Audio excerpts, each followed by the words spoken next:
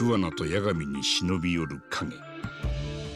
日本最大の情報機関である公安の狙いは厚労省の事務次官楠本玲子にあった。彼女は5年前桑名の手引きにより息子を追い詰めた河合信也を殺害。長きにわたって隠されてきたその秘密が新たな闇を呼び寄せていた。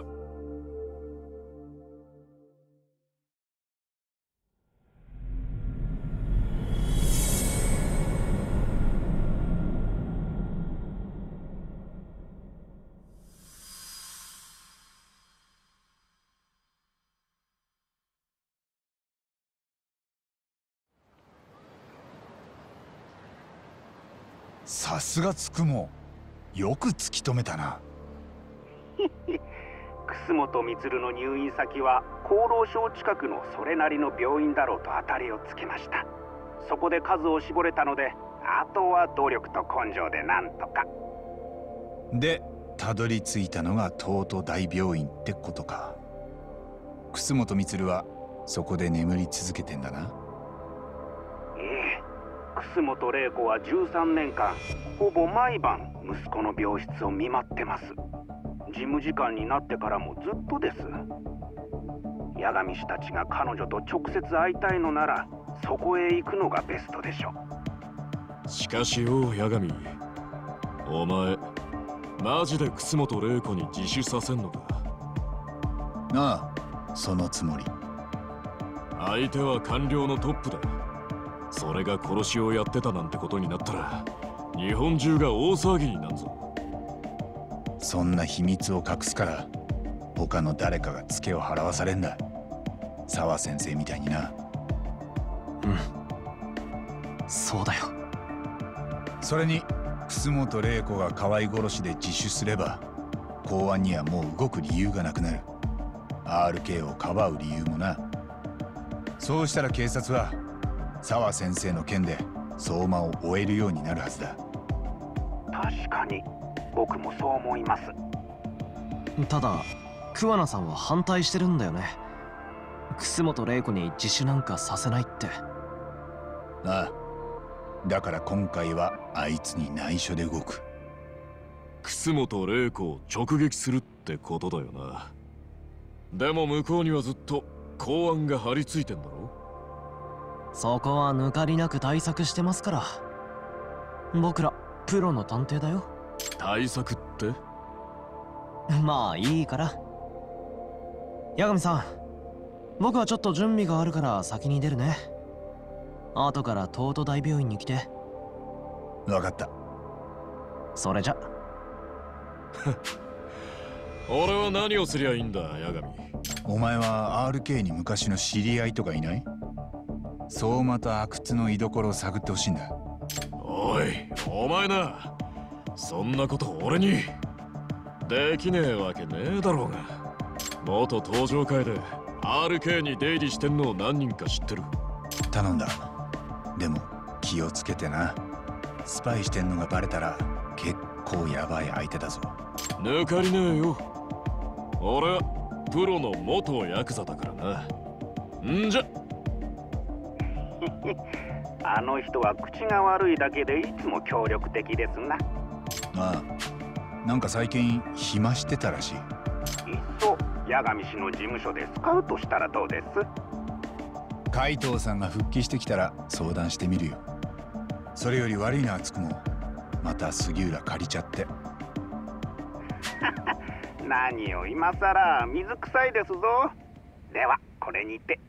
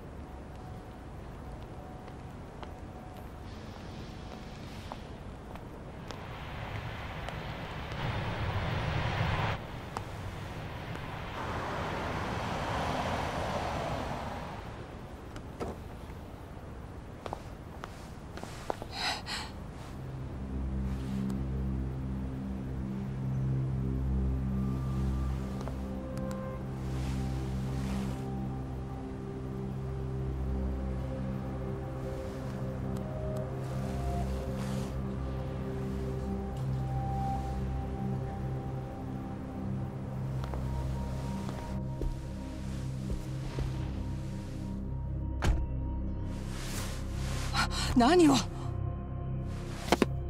大丈夫。降りる時に返すよ。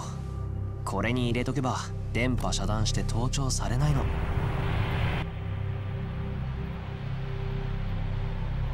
この辺を一回りしたらまた病院前に戻ってきます。その間だけお時間をください。あのあなたたちは？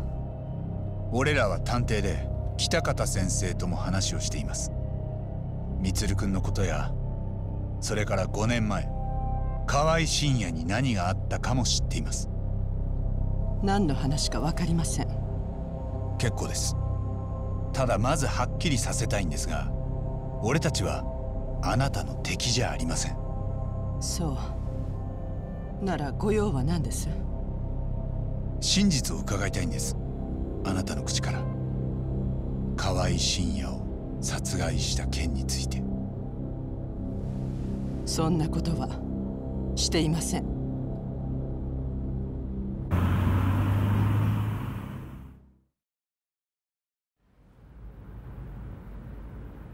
先日北方先生から電話がかかってきましたよね。彼は今桑名と名乗り偉人町で便利屋をしています。あなたに電話をかけてきたのはあることを確かめるためでした。あること？あなたが公安に監視されているかどうかをです。公安ですか。結果から言うとあなたの携帯は盗聴されてました。その通話相手は GPS で逆探知までされます。携帯の逆探知にはどうしても電話会社の協力がいるらしくってそんなことがこっそりできるとしたら日本じゃまず公安だけです。その公安があなたの弱みを握ろうと桑名を追っています。今の状況が分かりますか？楠本さん。あなたは官僚として特殊な存在みたいですね。ずっと出世ルートを外れていたのに主流派が軒並み失脚して突然抜擢されることになった。おかげであなたは組織に対して恩もなければしがらみもない。充君の身に起きた不幸には大衆の同情が集まった。そして実務でも有能となると一官僚としては力を持ちすぎているようです。実際楠本さんは天下りの改革に組織の浄化と周りの都合に構わず正しいと思うことをどんどん実行してる。世論もそれを後押ししててもう大臣でさえあなたの顔色を伺ってるそうですね。そんなあなたを止めたい誰かさんが公安を動かしてるのかも。もしそういうことなら私の敵は一人や二人じゃありません。その命令とあらば公安も従うでしょうね。公安というのは現体制の維持のためにある組織です。その体制を構成しているのは政治や経済を牛耳っている権力者たち。ただし彼らはそれぞれが違う理想や正義を持っていてそこに多くの不都合や問題つまりしがらみが生まれます。社会が人の集まりである以上それは避けられません。そのしがらみを解きほぐすのが公安の仕事だと？そういう一面もあります。しかし世の中とはあらゆる価値観が混沌と存在しながらそれを継続させることが必要とされます。全てのしがらみを紐解いていけばその先はきっと国家の崩壊でしかない。なら公安の役目とはむしろしがらみに縛られながら国家を安定させ継続させることにあるのです。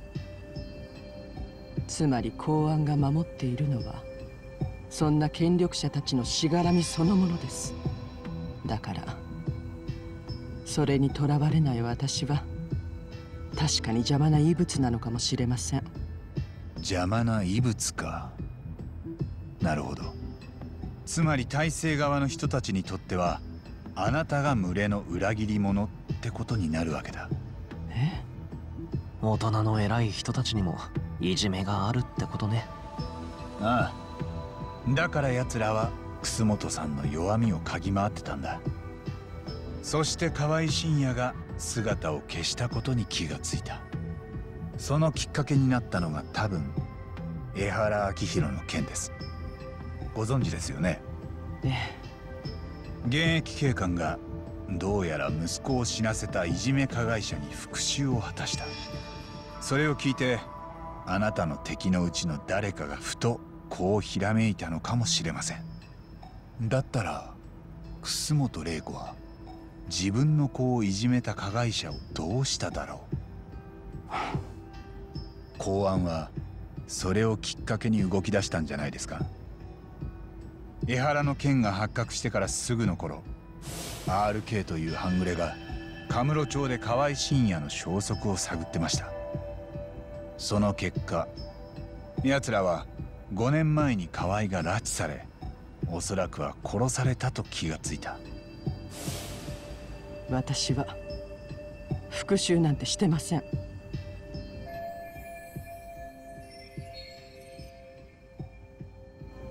公安は河合の失踪を知ってもまだ半信半疑だったはずです。でももしそこにあなたが関わっていたとしたら儲けものです。彼らは念願だった楠本玲子の弱みを握れる。あなたの話はいつまで続くの？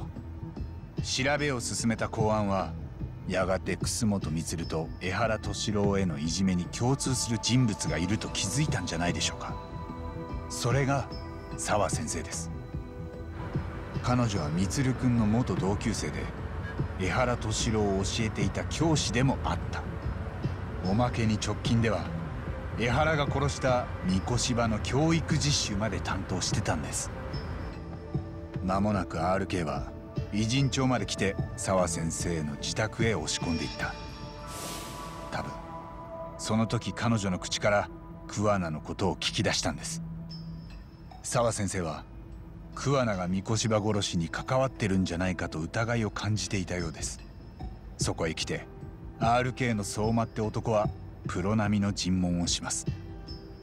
暴力と恐怖で知ってることは何もかも喋らされる。楠本さん彼女が殺されたことはご存知でしたよね。桑名との電話でもそう言ってたはずです。あなたはあの人の仲間じゃないんですか？彼は私に迷惑がかからないようにすると言ってました。二度と連絡しないとも。俺と桑名は一時休戦中の商売敵です。仲間とは違います。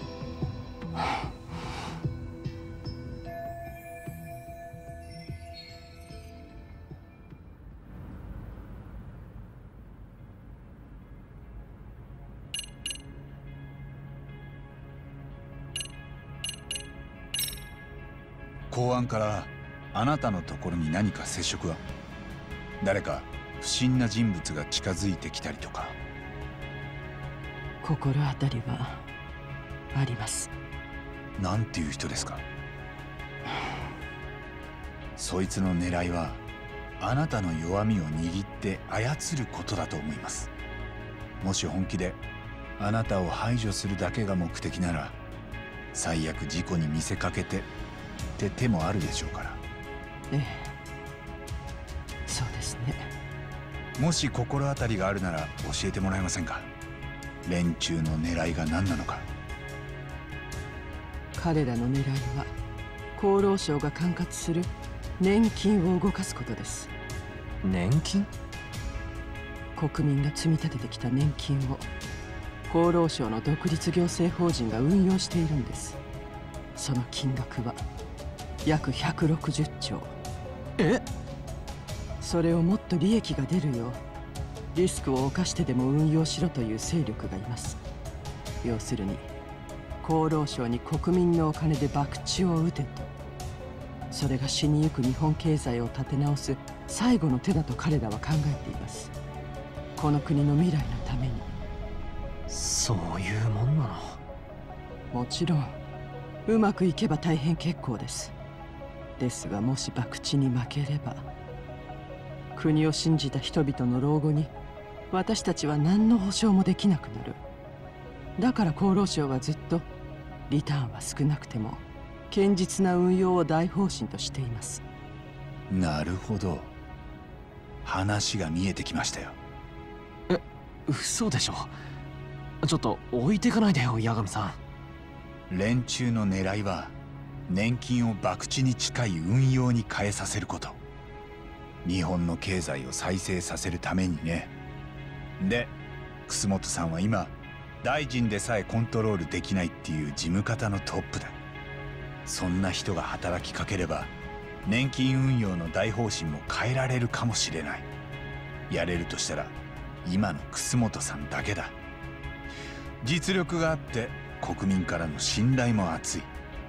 別の新しい事務次官がやろうとしたってそれこそすぐしがらみに潰される。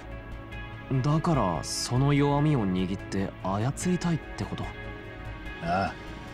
しかももし160兆の博打が失敗した時には全部楠本さん一人のせいにできる。なるほど。それにしても160兆ってもうそこまで具体的な話で接触を受けてるんですか？かもしれませんね。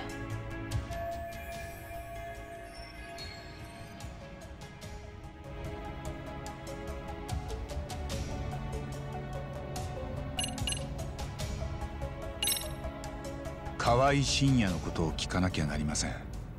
5年前にあなたはその手で彼を殺しましたね河合に対するあなたの気持ちは分かります。でもどうしてもやらなきゃならなかったんですか？北方先生と話したならあなた方はビデオの件も知ってるはずですよね。充が受けた仕打ちを。ええ。河合はともかく他の生徒たちは知らぬ存ぜぬで何の責任も取らず気の毒そうな顔して充の病室を見舞いに来てました。でも今にして思えば彼らは充に目を覚ましてほしくなかったんでしょうね。だから様子を確かめたかったんです。なのに私はあの子たちに頭を下げてお礼まで言っていた。北方先生がビデオを見せてくれたのはそのずっと後です。その時彼らに何も罰が与えられていないのは間違いだと分かりました。だから連中を泥沼に引きずり込んだ。全員に河合を殺す片棒を担がせて。そこまで分かっているならこれ以上私に何を聞くんです？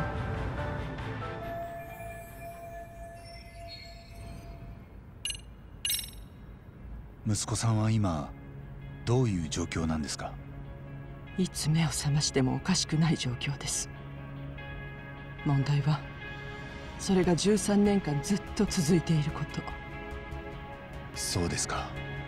今年になって東都大病院に転院させたんです。少しでも目覚める可能性が上がるならと思って。でも結局やってることは前の病院と大差ありません私には待つことしかできない。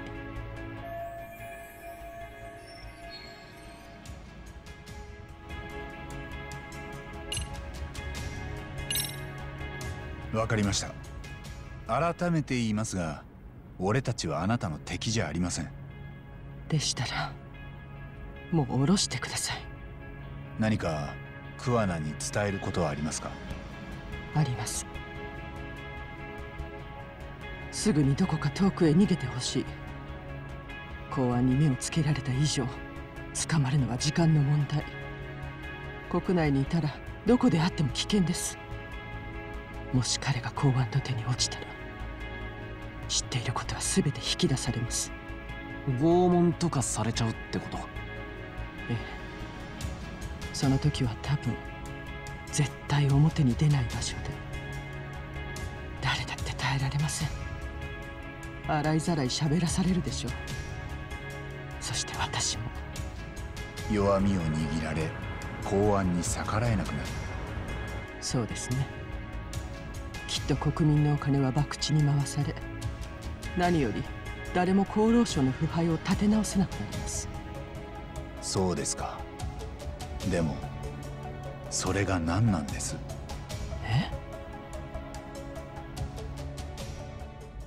あなたはやっぱり自首するべきですよ。楠本さん。殺人の罪でですか？でも私が殺したのは本当に人だったの？河合信也は正真正銘の人でなしだった。あなたは充が何をされたかビデオを見たんでしょ？北方先生のことを私はずっと憎んでいました。充へのいじめを軽く見すぎた無能教師。でもそれが8年も経って私の前に現れあのビデオを見せてきた。そしてそこに映る連中を罰しなくてはならないと言った。充のために。絶対にやらなければならないと。あなたはそこで踏みとどまることもできたはずです。ええ確かにそう。散々迷いました。いくら恨みがあってもそれは決して許されることじゃない。でも北方先生の言葉が頭から離れなかった。だから私は河合がカムロ町で働いていると聞かされ見に行った。河合は充の飛び降りの直後私に涙を見せて謝罪したんです。会うのはそれ以来でした。あいつが私を見て凍りつきまた一言謝ってくればそこで踏みとどまれたかも。そうはならなかったの ええ。あいつは私の顔を見てもまるで誰だか気がつかなかった。それどころか若い男に言い寄ってきたおばさんだと勘違いしてた。お小遣いをくれれば遊んでやるよ。って涙は形だけだった。そんなこともちろんずっと前から分かってたけど。私はあいつを殺しちゃいけない理由を見失った。充をいじめてた他の子たちは命が取られないだけ感謝してほしいくらい。だから私は自分に償わなきゃいけない罪があるとは思えないんです。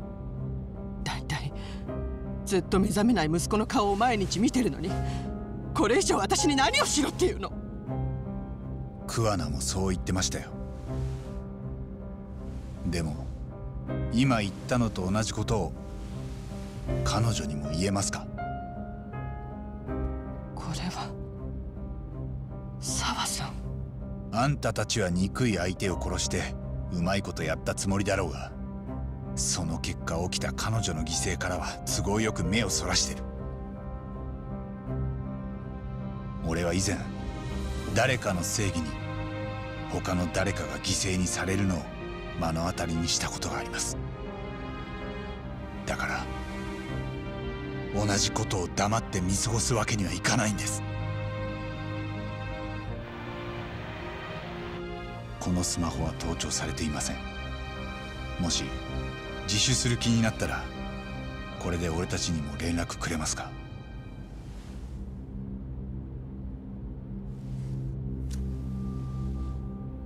こっちの話は以上です。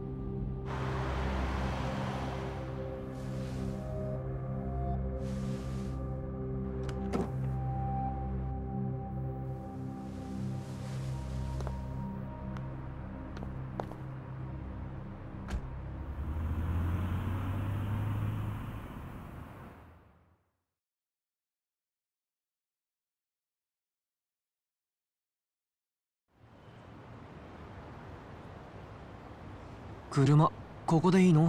八神さん。ああ。桑名と話しに行く。楠本玲子に会ったことをさ。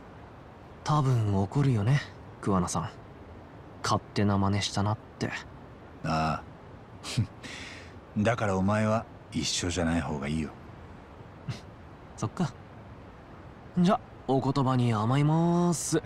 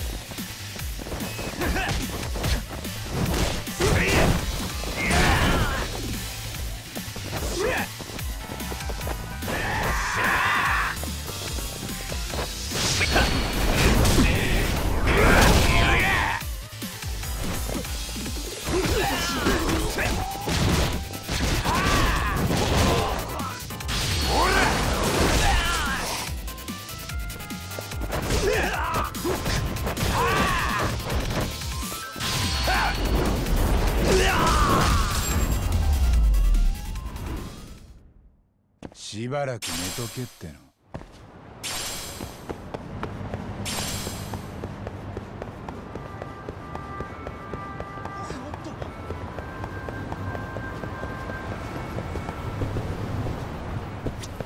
いらっしゃいませ。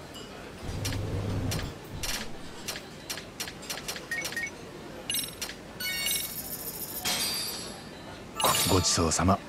ありがとうございます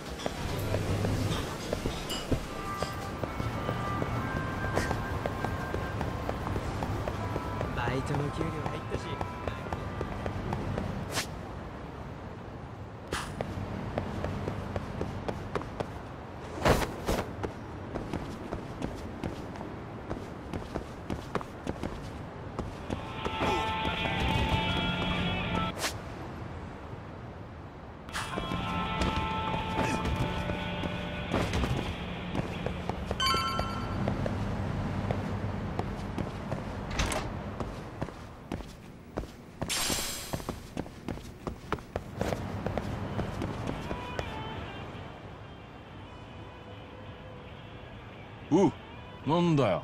しばらく顔見せてなかったじゃねえか。ほんの23日だったろ。桑野。そりゃなんつうか。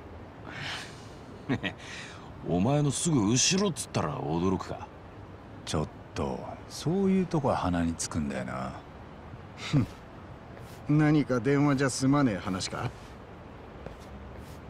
楠本玲子に会ってきた。5年前に河合を殺した件自首を進めてきたんだ。なんだと？相手はなんて言ってたんだ？自分に償わなきゃならない罪はないって。当たり前だ。お前勝手に何してんだ？あの人にはもう終わった話だ。勝手に二度と終わらせんな。沢先生の事件は何も解決していない。彼女の親御さんはどうだ？きっと娘があんたに殺されたと思ってる理由は分からず犯人も捕まらない。何の事実も知らされずにこの先もずっと苦しみ続けなきゃなんねえのか。そんなことを沢先生が望むか。あんたらの正義も彼女だけは救おうとしない。まともに向き合おうともしねどう言われようが楠本さんをこれ以上苦しませんのは絶対に許さない。えあんたがそう言うと思ったから彼女に会うことは黙ってた。いいか八神。彼女はなああ見えてまだ充の飛び降りから立ち直れてねえんだ。河合を殺したことには今も迷いを感じてる。俺と違ってね。あんたと同じなら俺ももっと強く彼女に自首を進められた。彼女が河合を殺した証拠はない。河合はカムロ町から姿を消しただけで警察だってそれを把握しちゃいなかったくらいだそれにそもそも死体がなきゃ事件にもなんねえ。どのみち彼女は絶対に捕まらねえぞ。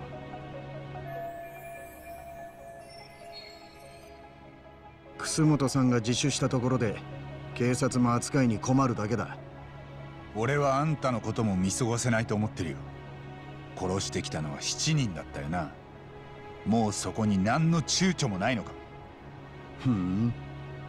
その証拠は？証拠もないのに人を疑うなんて。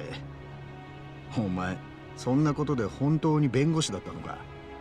今カムロ町で俺の仲間が江原の控訴に向けて準備してる。あんたの実態にもそこで光が当てられる。それについて言えば悪くない展開だ。いじめ加害者を誰かが裁いていると世間にも知ってもらう。ただその時にはもう俺はまた別の名前で姿も変えてるだろうがな。あんたはまだ続ける気なのか？沢先生の犠牲はあんたにとって何でもなかったのか？お前の言い分はずっとそれだけだ。でもな彼女にとっても全部明るみに出るのがいいことかわからないぞ。え？沢君にだって後ろめたいことがあった。今お前に送ったのがその証拠だよなんだこれ？音声ファイル？江原さんが裁判で負けたすぐ後俺と彼女が電話した時の会話を録音したものだ。敏郎君は顔を晴らしながら屋上に逃げ込んできたんです。後からすぐ三越場という生徒が探しに来ました。あの時敏郎君の怯えてた顔が頭から離れません全て打ち明けてくれました。からかわれて殴られてお金を取られて誰も助けてくれなかったって。でも私はそれを法廷にまで行ってなかったことにしてしまったんです。本当はそんなこと絶対にしたくなかったのに。でも証拠もないのに私一人証言したところで勝ち目はないと言われて。沢君は法廷で事実と違う証言をしていた。それを後ろめたく思ってた。こんな話をあんたは録音してたのか。沢先生が弱ってたところにつけ込んで。ああ。そして江原さんに聞かせた。あの人には息子が自殺した本当の理由を知る権利があった。あんたは自分の仲間が欲しくて江原の復讐心に火をつけただけだ。いじめってのは人間の本能に近い行為らしいな。だから絶対になくならないそうだ。でもよ例えばの話どうせ汚れるからってトイレを掃除しないことあるか？誰かが手汚してきれいにしなきゃ。これからもずっと。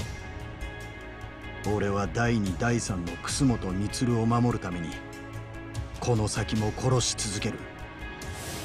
抵抗できない相手に好き勝手やる連中は見せしめに制裁を受ける必要があるんだよ。法が代わりに機能してくれんなら俺だってやりたくない。あんたの言いたいことはわかるでもやりすぎだ。